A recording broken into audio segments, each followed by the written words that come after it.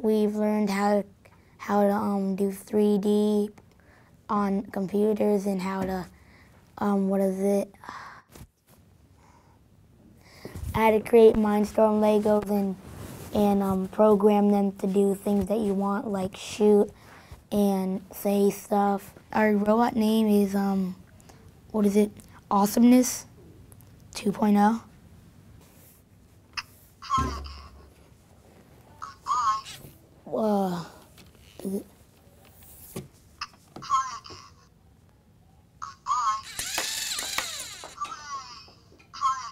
And whenever it sees something, it um shoots at it. Awesome.